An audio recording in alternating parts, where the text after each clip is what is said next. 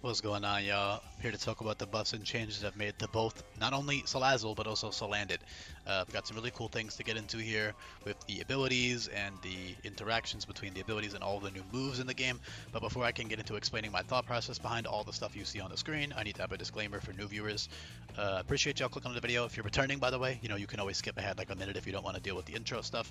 But if you are returning, uh, sorry, if you are new, uh, pause the video, read the description. I've got a really detailed bullet point list going over all of the basics of the ROM hack, the thought, uh, like my general thought process and approach with it. I also have videos covering all of that information as well that you can check out when you're done with this one, and I also have videos for every other Pokemon in the game.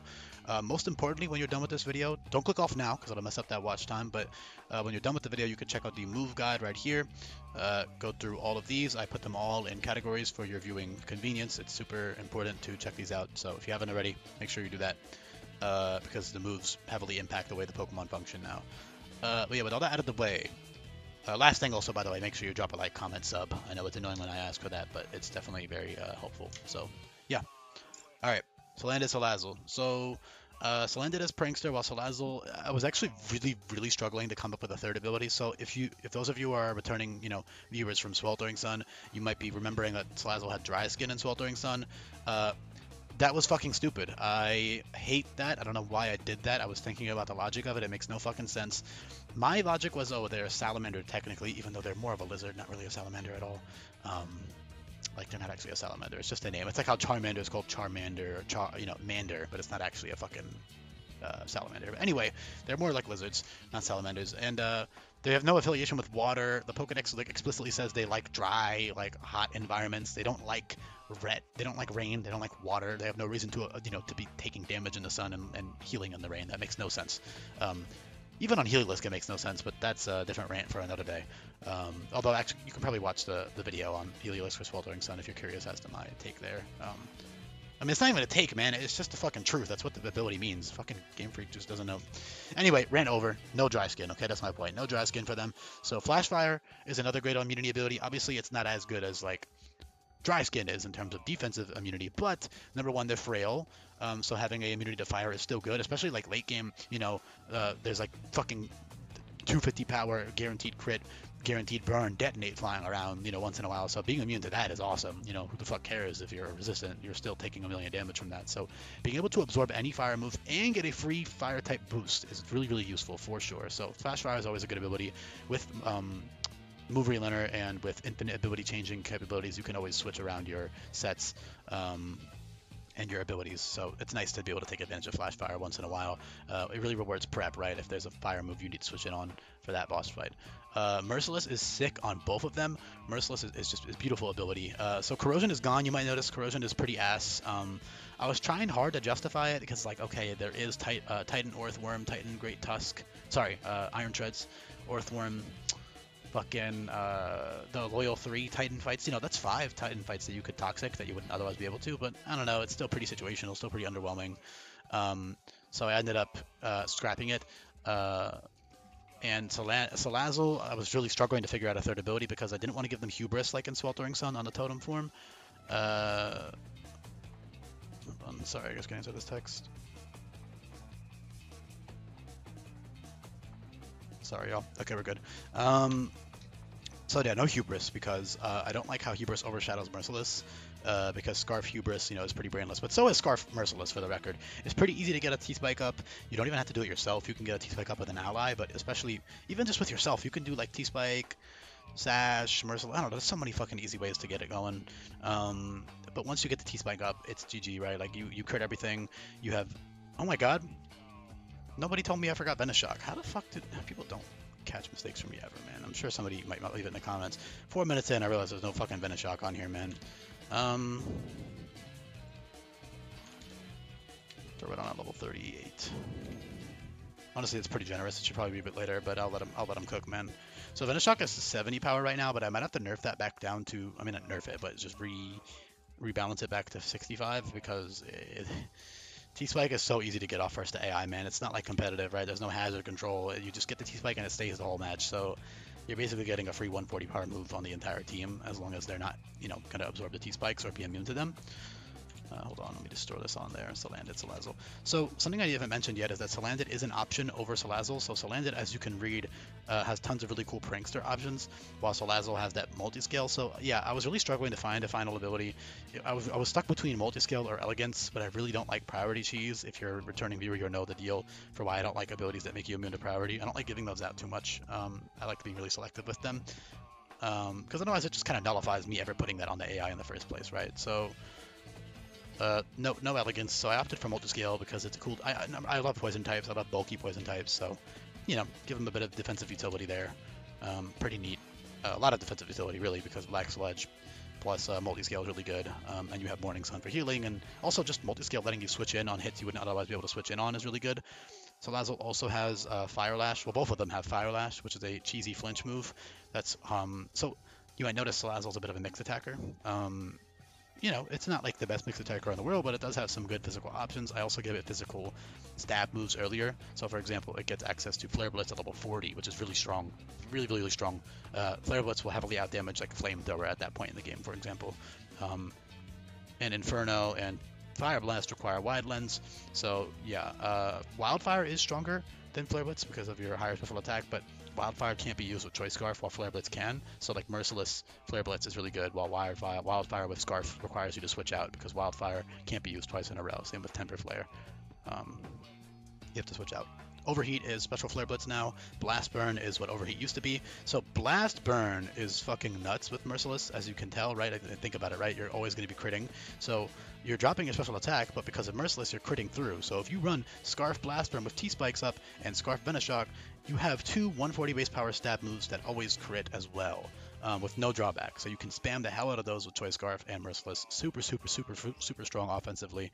You've got really fun um, utility and coverage. You know, you got good enough coverage. Not that you need too much, but you got some solid coverage. Some other cool utility like Aromatic Mist and Noxious Gas, which are great debuffing moves, uh, which work really good with multi-scale and Black Sludge. So this thing is not just an offensive machine, right? You can use it for really good utility with these utility moves, with the toxicing moves, with the debuffing options, um, and yeah, uh, Shed Tail is there.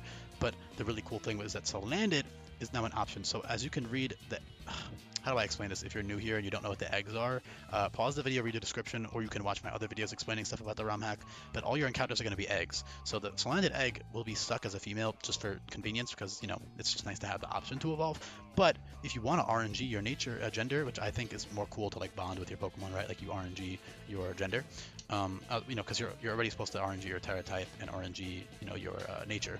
So you know, if you want to randomize your gender, just for like flavor reasons for the most part. Uh, but this is one of the few cases where your gender actually matters in this game because attracts, you know, shenanigans is not a thing. But um, yeah, you can um, RNG, you're Salandit, and if you get male, then you're, you're stuck with Salandit, but it's, it's he's got his own, I mean, he's, he's already fast, he's relative, he's pretty strong, and he's bulkier than Salazzle with Eviolite, but of course he can't hold um, Black Sludge with Eviolite, and he also doesn't have multi-scale, so he's not actually bulkier. Um, he's still relatively bulky with investment, though. Uh, Poison Fire gets a lot of shit because people love to brainlessly hyperfixate on weaknesses, especially four times weaknesses, and I fucking hate that. It's a big pet peeve of mine, because Fire Poison is fucking great defensively. Look at those resists, man. Fire, steel, poison, fighting, ice, and then four times to grass, four times to fairy, four times to bug. It's, it's fucking amazing. Really, really good resistances, man. Um, tons and tons. I love poison type for that reason, and fire too. Fire is really good defensively, but yeah, they make a great defensive combo. Who the fuck cares if you're fucking weak to ground, man? Switch out. Like, not every fucking Pokemon's gonna have a ground move, but yeah. Um, or you can even kill the ground type. It's not that hard. So yeah, weaknesses are much easier to play around in game. Um, but yeah, defensively this thing's sick. And then Salandit with that Prankster, as you can read, I mean, hopefully you read it already by now, um, because otherwise I would rather have covered this earlier in the video, but sometimes, you know, the words just come out of my mouth and I just go with the flow. Um, because Salandit's awesome. So he's got Prankster Encore, Prankster Shedtail, Prankster Will-O-Wisp, Prankster Parting Shot, Prankster Disable, Prankster Torment, Prankster Toxic, T-Spikes, Taunt, like even just Prankster Taunt on the lead, right? Because a lot of the leads are going to have anti-setup stuff, so if you taunt them, you can go crazy from there. You can set up a T-Spike for free, you can set up a Parting Shot out into your ally for free, you can use it as a pivot, you can disable Encore, Encore Disable with Prankster, you can uh, Will-O-Wisp, guaranteed burn for priority. Uh, Noxious Gas is uh, dropping attack, special attack, and speed, and poisoning.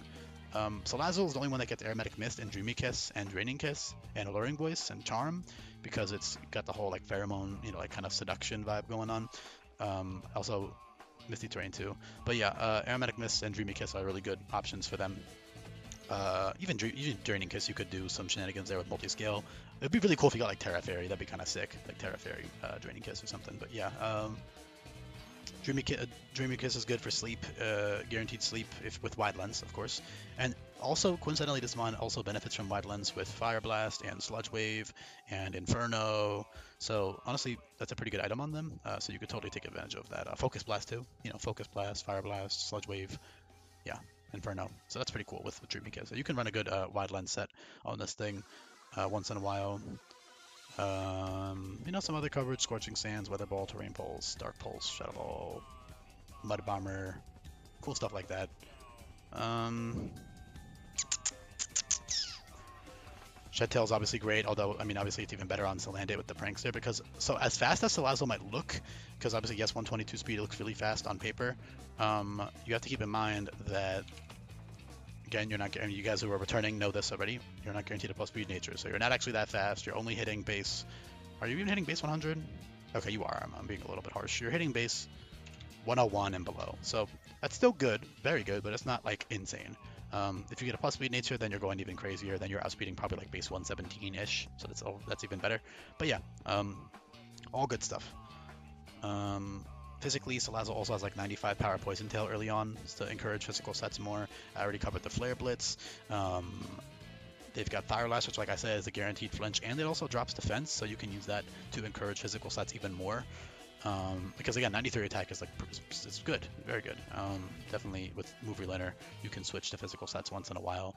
Uh, you also got like Dragon Dance, which you could do with multi-scale. In theory, could work.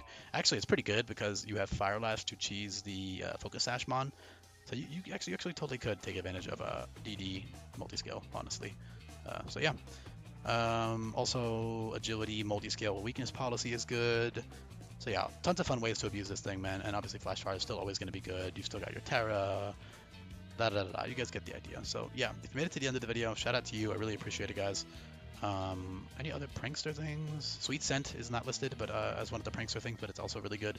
Uh, Noxious Gas is better, but for early early game, Sweet Scent's great. It drops attack and special attack by minus one, so that's good. Um, it's one of the only other prankster moves that I not list. T-Wave is a decent option, not really though, pretty gimmicky. Um, it's pretty much everything um, for prankster, most of the important ones at least. So yeah, uh, shout out to you. Appreciate it if you made it to the end. Really, I do. It does mean a lot. So leave a comment down below if you did. Peace, y'all. I think I covered everything, right? Yeah. All right, y'all. Oh, and I guess I didn't say this yet, but I love Salandit. I think it's cool. He's way cooler than Salazzle. That's why I made him. Also, I just think it's cool for like these guys to not be completely useless, right? Because Salazzle and Salandit's cool. Yeah, he could have been a bit slower, maybe a bit weaker, maybe like 400 BST, slightly like 92 special attack. 107 speed would be more reasonable, or just less def. But I don't know. This is like the high end of the stats I see for him. So I don't know. I think he's cool. Excuse me. Uh, it's my game. I can do whatever I want at the end of the day, and I do like Salandit. So. I would I prefer Prankster over Multiscale for sure. I think this guy's got a really cool kit for Prankster. Especially with Move Relearner, man. That Move Relearner makes Prankster so much better than in Sweltering. Because in Sweltering, you have to really commit. So it's like kind of hard to like abuse Prankster and then switch to a Merciless at the next fight. Like it's really difficult to do that reliably because you have so much four move slot syndrome. But here, there's no downside to just switching your moves around constantly. All right, y'all. That's enough of that's enough for today. Peace, y'all.